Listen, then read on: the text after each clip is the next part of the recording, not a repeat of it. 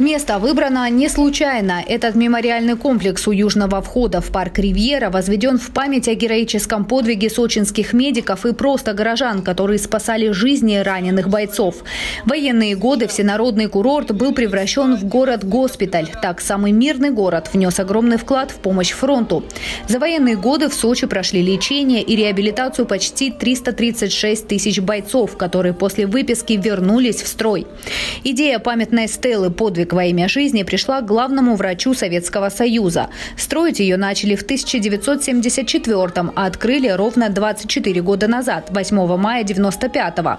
Вклад медработников, да и просто жителей курорта в победу получил высокую оценку. В 80-м году город Сочи был награжден орденом Отечественной войны первой степени. Этот подвиг не забыт и сегодня. Я считаю, то, что именно на долю медиков выпала самая большая, как сказать, ноша. У них была большая ответственность вылечить, главное, всех солдатов, чтобы они снова смогли стать в строй. Мы сделаем все, что в наших силах, чтобы тоже быть такими же храбрыми, какими они были в годы войны, и также с честью носить белый халат. Участие в акции памяти «Подвиг во имя жизни» сегодня приняли и медработники, и руководство Сочи, и те, кто не понаслышке знает о войне – ветераны. С каждым годом их все меньше, в том числе и на таких мероприятиях. Но тех, кто в строю в лицо, знает каждый школьник. Уроки мужества сегодня – это их основная задача, и герои снова на передовой. Ни в коем случае не хватит говорить о войне. О великом подвиге советского народа должен знать каждый ребенок. Он должен гордиться подвигом своего прапрадеда. Он должен гордиться подвигом своего народа. Отмечать праздники Победы, проводить военно-патриотические акции. Это нужно не ветеранам уже. Это нужно сегодня вот этим ребятам. Чтобы они знали, гордились и себя готовили к великим подвигам. После возложения цветов к стеле всех пригласили в парк «Ривьера» на праздничную программу и полевую кухню. Солдатской каши здесь приготовили целую тонну, чтобы хватило всем. Ведь у многих День Победы ассоциируется не только с парадами и концертами, но и с главным блюдом войны – солдатской кашей. Это военная тайна. Это очень секретный рецепт, который уже на протяжении не одного десятилетия используется рядах еще и Красной армии, Советской армии, ну и сейчас Российской армии. Может быть, ну, чуть-чуть меньше мяса было во время Великой Отечественной а так все то же самое.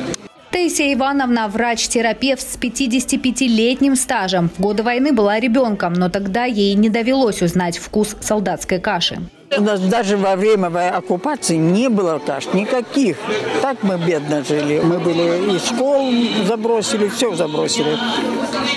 А потом стал госпиталь, и приходили раненые. Вернуть строй людей, солдат.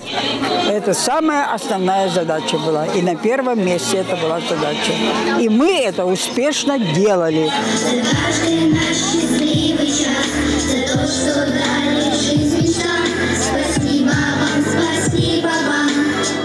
благодарности и вознаменования победы сегодня же от памятника «Подвиг во имя жизни» стартовала спортивная эстафета, участие в которой приняли полтысячи сочинцев. Я считаю, что это меньшее, что мы можем сделать для людей, которые заслужили победу.